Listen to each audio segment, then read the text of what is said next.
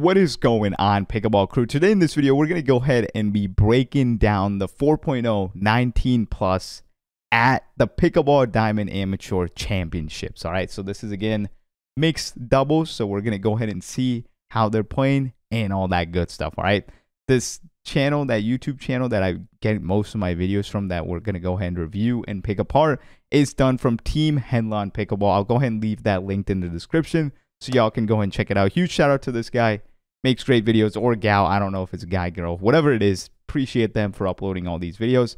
Now, this right here is at Daytona Beach. I did go ahead and play at their Subaru Open uh, singles. When I played, this is the center court, which is called the championship court. Great place, got first. But again, let's go ahead and see this game. And we're going to go ahead and break down, see what they're doing right, what they're doing wrong, what we can learn, and things that everyone can improve on from watching them play. All right, this is again for educational purposes only. So do not go bashing people in the comments that are actual players. Now, if you wanted to bash me, that's perfectly fine. I'm cool with that. All right. If you want to bash the commentary, that's good. That's what we're here for. But let's go into start out.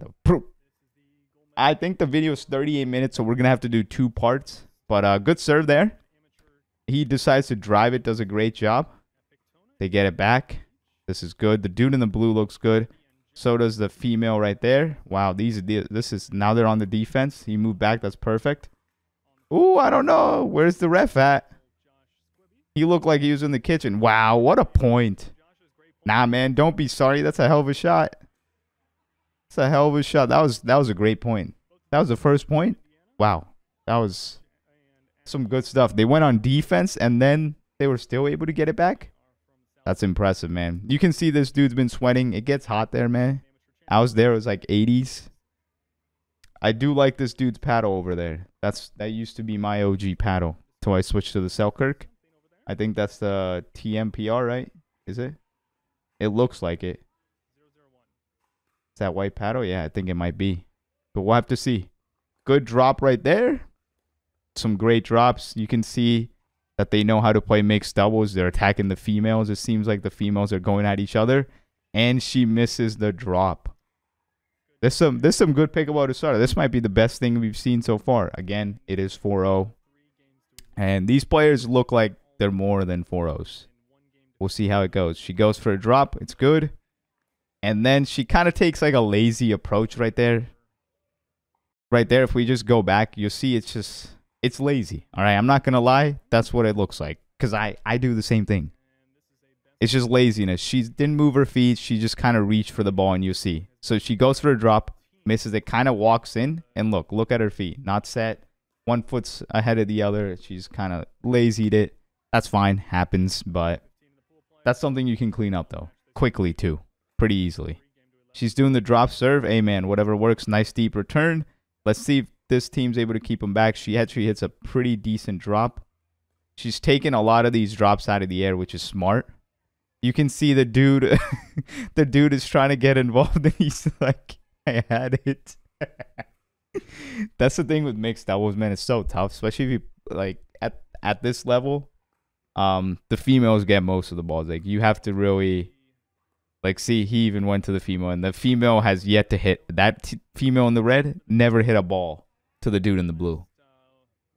That's how that's how it makes us played. It makes me mad too, man. Kind of sucks, but you know it is what it is.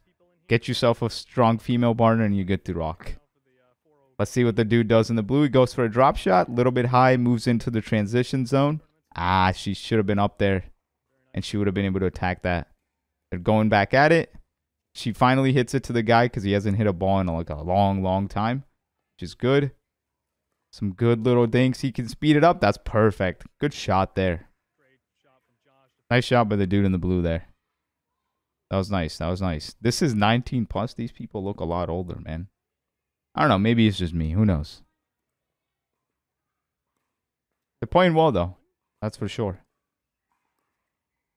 There you go. A little bit high. Let's see. A little bit high. Oh, man. Did she just catch that in her face? hey, yo.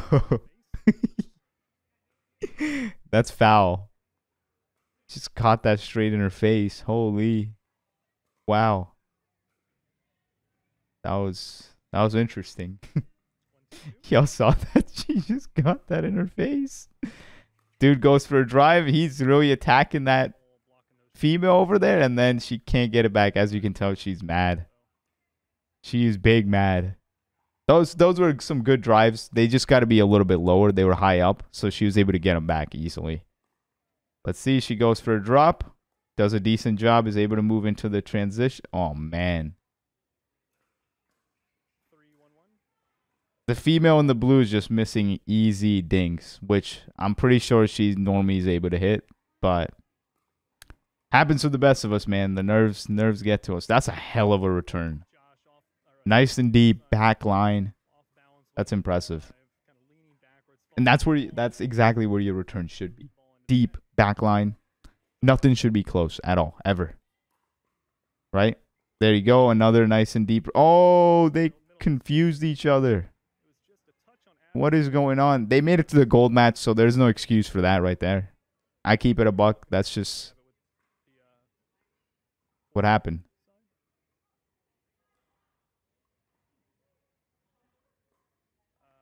guess the ref saying something. I don't know what the ref saying. I'll be honest. I don't know. They had refs at my matches too, man. Um, the poor kid that I was playing against got called for two faults in the final game. I don't know. I don't know. He was. I guess maybe his foot slid in there. He's he's kind of confused. So was I. But the refs are cool. Can't lie. You know, it's nice not having to call score. But uh, let's see. This this Pictona, um, which is in Holly Hills, Daytona Beach beautiful spot. They got like 40, 50 courts. It's insane. Absolute vibe if you're a pickleball fan. Definitely go ahead and check it out. And if you get to play a tournament, even better. Because then if you get to the championship, you get the center court. So much better. No wind in here. You can really slam the ball. That's if you're playing singles. In doubles, you probably don't want to be doing that. But hey, we'll see. This is at the 4.0 level. It looks good the guys puts that up way too high. He at least get back into it. She puts it up even higher. he somehow he's this dude in the blues really trying to force force the issue. I think he's just got to let the girl hit some of those balls because he's way over there. It'd be a different story if he was that much better than the other players, but I don't think he really is from what I've seen so far.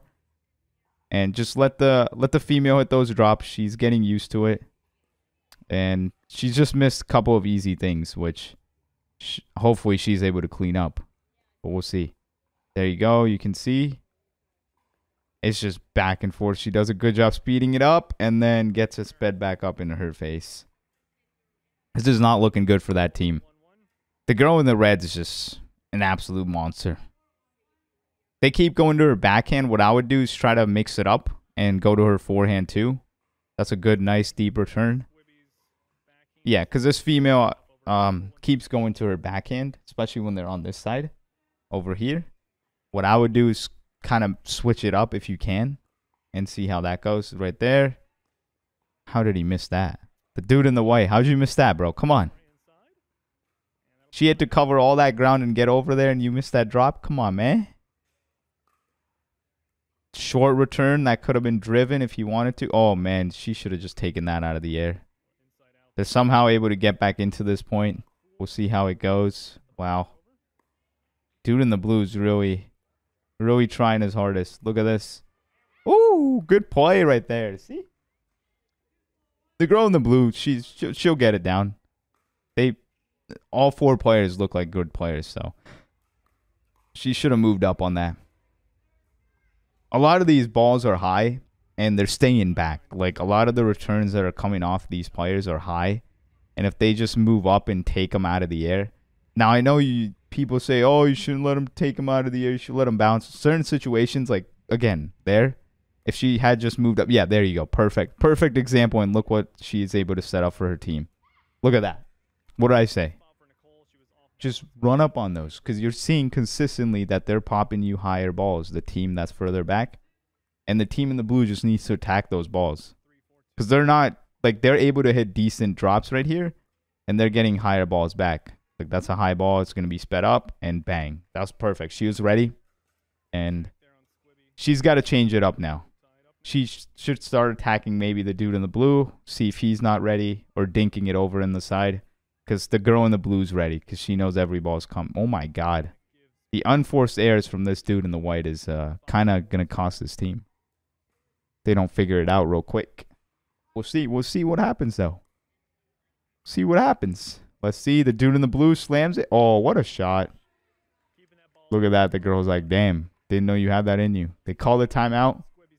Freaking hate timeouts, man. That screen is the best thing. So they're up 6-4, I think. So they came back. Let's see. I just skipped a little bit too far ahead. Whatever. Again, see? Everything's at our backhand. Switch it to our forehand. There you go. Good. Get the other people involved. That's nice. Wow, what a play. What a play by the dude in the blue. Good play, man. That was a good dink. Because you can see he, he kind of didn't know if it was going to be in or out. In those situations, you're better off just playing them. Just play them. You can call them in or out after. But don't do it in that spot. She sped it up, and oh my god. Now the team in the red is really starting to feel the pressure.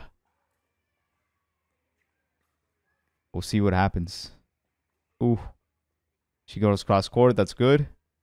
Good dinks here. Let's see if someone goes a little bit more offensive with their dinks. That's perfect. Good gets. Good gets. Good gets.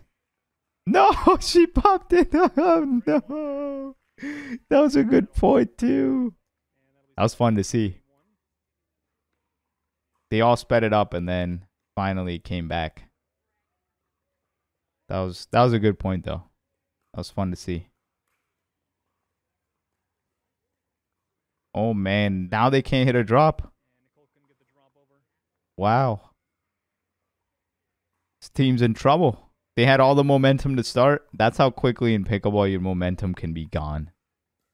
It's kind of scary thing. Look at that. Wow. Good shot by the dude in the blue. I wish they would uh, pan back to that uh, screen over there. That screen is so clutch. It's nice to see. Can't lie, you know? Because then you get to see, wow, good play. As you can tell, he was way too far over on her court, left his whole alley open. Dude in the white does a great job identifying that and just slamming it there. Not slamming it, but just beating it up there. Was that, oh, they call that deep? That looked like it might have been in. Look at them. They're like, Oh, I guess that wasn't. Great shot. Wow, impressive. Thought they were calling it out. It's like looked like it was in, man. See, good.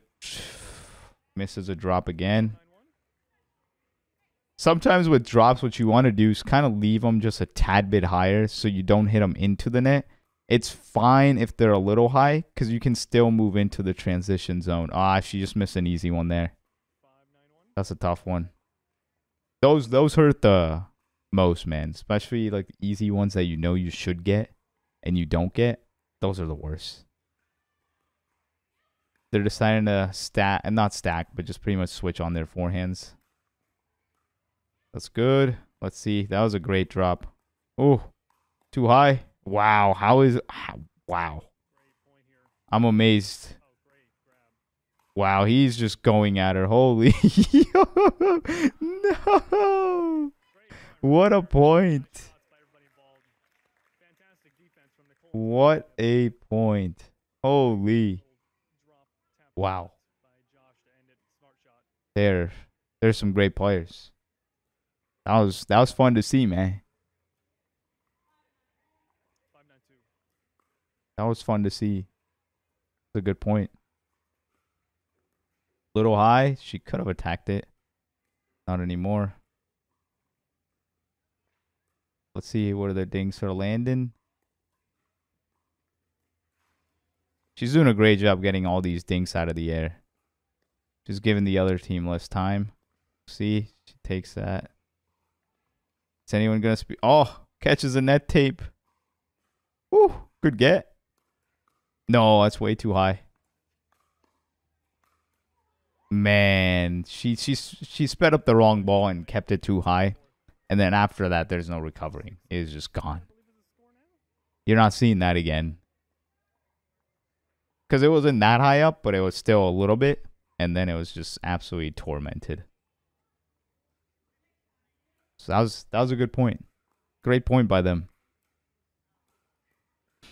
Let's see. Could get. It's good. They're back to this Nice little dink battle. Good points. Good po- Oh, he's like. Whenever it catches net cord, bro, nothing pisses me off more than that right there. Seems like the red team's kind of figured it out. They just got to be able to get into a dink battle. She misses an easy one there. That's tough. They call the timeout. Is he going to pan to the score? I guess he's not going to pan to the score. We're going to pause it here. Don't want to make the video too long. This is going to be part one. All right. We're going to go ahead and do a second part. So far, great game, right? What we're noticing is the team in the blue struggled early. Then they kind of weathered the storm. And then team in the red struggled, called the timeout, came out, was able to regroup. And then now it's back again to whoever is making those unforced errors and speeding up the wrong balls and hitting balls into the net, right? Hitting like easy returns, third shot drops into the net. So that's probably what's going to go ahead and determine this game. But we'll catch y'all in part two next. Right.